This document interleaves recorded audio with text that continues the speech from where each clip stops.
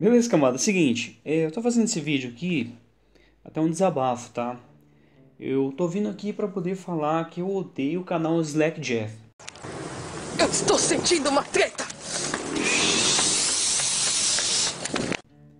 Por quê? Porque o cara vira e fala mal do System D? Como assim, pô? Repara só a parte que ele falou, ainda cita meu nome, presta só atenção nisso aqui. Quero dizer uma coisa, Gabriel. O System D é um lixo, velho. E ponto final. Agora tu vai fazer o seguinte. Tu vai lá pro teu quarto e chora. Porque é uma merda. E não quero mais amizade contigo. Porque tu sabe que eu sou um cara que eu prezo pelo anonimato total, tá? Eu, eu, eu prezo pelo anonimato, tu sabe. Vou começar a discutir também tu aqui, ó.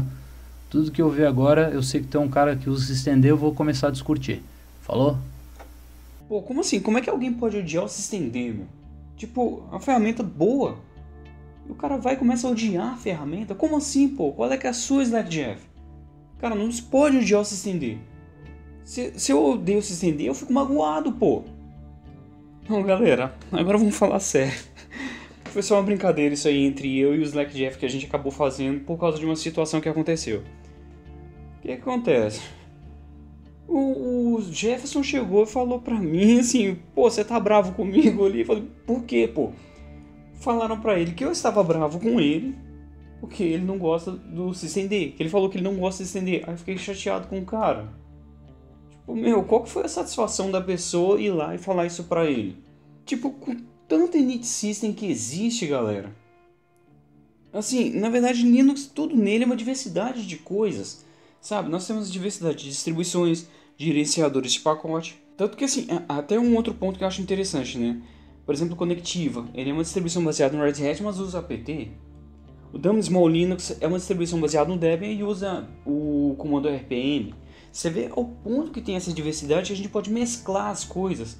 Temos diversidades de pacotes, diversidades de ambientes gráficos, diversidade de todo tipo de ferramenta, inclusive diversidades de init systems. E tipo, no meio dessa toda essa diversidade é onde você tem o direito de escolher. A gente não está limitado a isso porque assim, no Windows você só tem aquela padrão.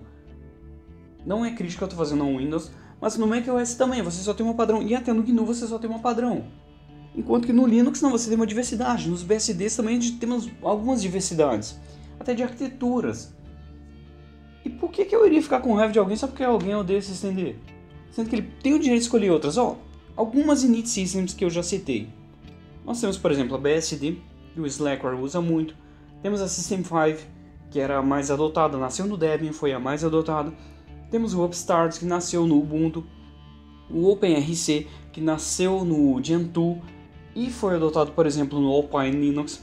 Temos a Runit, que inclusive é fortemente adotada no Void Linux, inclusive até como uma oposição ao systemd, que é uma oposição que você tem o direito, você tem o direito a ter essa oposição. Uh, o systemd veio para poder criar uma padronização, mas você pode usar outra, é um direito que você tem. E é isso que eu acho interessante de liberdade, a liberdade de escolha. Temos a Minute, que quem criou foi o Felix. Felix é o alemão que criou a biblioteca da ITLibc e criou o Inbuilt. O cara criou várias ferramentas, outras bibliotecas também, várias outras ferramentas, e criou a Minute, que é exatamente o Init System, que tem características parecidas com o Systemd, que ó, focado inclusive na questão do tempo de boot, na parte de scripts, você vê muitas características do Systemd no Minute, que é de 2004. Então, isso que eu acho interessante, essa, a ideia do Systemd já era antiga, não é nova. O Minute já tinha essas ideias, o Dragonfly BSD já tinha essas ideias também antes de surgir o Systemd. Depois do Systemd, o LNOS está adotando características do Systemd dentro do LNOS, que é um sistema operacional microkernel, sempre cito ele aqui. Então, você começa a ver que as ideias do Systemd é o futuro da coisa, assim, é, é uma coisa até irreversível. São características que foram trabalhadas para suprir as deficiências de outros init systems. Oh, tanto que, para vocês terem ideia, Upstart inclusive era focado na questão do tempo do boot, o OpenRC é focado no tempo do boot, Runit é focado no tempo do boot, Minit é focado inclusive também no tempo do boot, e o Systemd também. Quer dizer, todos eles já tinham a mesma ideia. Qual que é o problema das pessoas adotarem o Systemd? Eu tenho minhas críticas contra o Systemd. Futuramente talvez eu faça um vídeo respondendo a isso, dependendo do que o pessoal pediu. Também de quantidade de visualizações desse vídeo e tal. Eu tenho as minhas críticas a respeito de se estender, mas não tem nada a ver com as críticas que o pessoal faz no, sobre se estender. O pessoal começa a inventar defeito para o sistema D. Ó, teve um cara que, inclusive, no grupo Talk do Tux falou assim: ah, o Debian adotou o sistema D numa época que o sistema D ainda era instável. Ah, tomar banho, né, pô? E é isso que eu acho ruim, o pessoal ficar arrumando defeito. Encontraram um bug, acho que ano passado no SystemD, virou alarde, né? Olha, encontraram um bug no SystemD. Como se não encontrasse bug em ferramenta nenhuma. E init system nenhuma, né? Interessante isso. Então assim, galera, tô fazendo esse vídeo, inclusive até com a ajuda do Jefferson para poder esclarecer isso. Não fique inventando coisas a meu respeito aí. Eu não falei nada disso, pô, eu tô bravo com o cara porque o cara não gosta de estender. Sabe?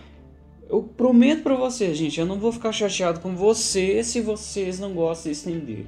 Tem várias outras inits para você estudar. Eu já fiz vídeo aqui explicando o que é init system. Fiz explicando sobre run levels. Tem no meu blog vários outros init systems. Lá onde eu mostro que surgiram no Linux, inclusive até proprietárias. Pode ficar despreocupado, não vou ficar bravo com você se você não gosta do sistema dele, tá?